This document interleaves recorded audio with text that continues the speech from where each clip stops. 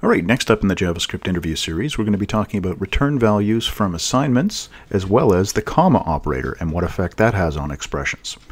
So the question is, what is the value of n, this variable right here? What's that going to be after this line executes?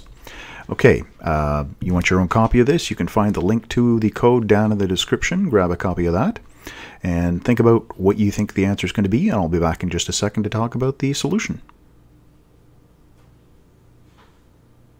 Okay, welcome back.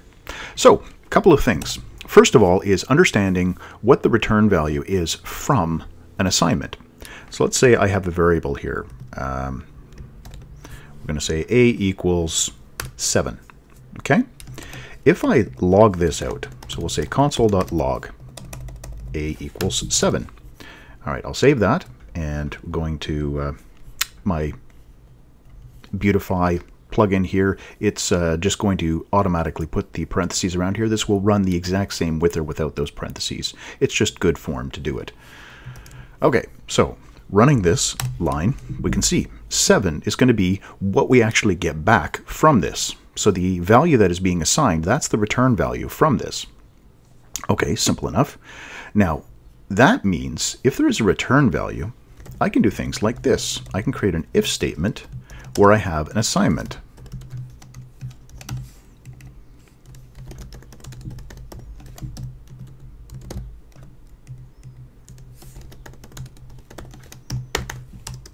So we'll just put a message in here so we can see which one comes up. All right, we'll run it again.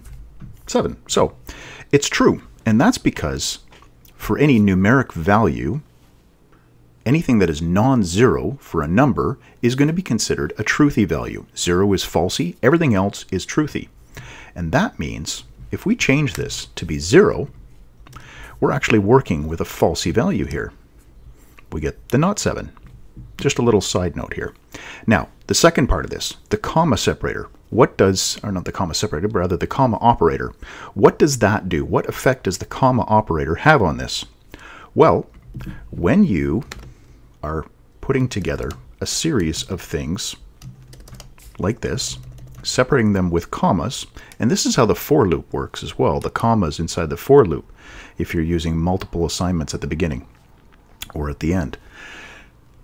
If I put another variable in here, so b is 1 and c is 3. So there we go. I have three values separated by commas. We run this code. 7. We're getting 7. Why is that? Well, with the comma separator, what you have is a whole bunch of expressions that are being executed, and this final one, whatever is last in the chain, comes in coming after the last comma, that is going to be the return value.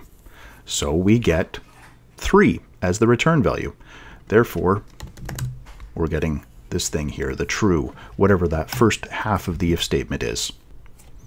Okay, so that's it. With the comma operator, if you have a series of expressions, the final one in that sequence is going to be the return value from that. So if we console log back to the original question, if we console log out n, what we're going to get is 3. So it is that final value. That is what's actually being assigned to the variable n. All right, if you have any questions, feel free to leave those in the comments down below. And as always, thanks for watching.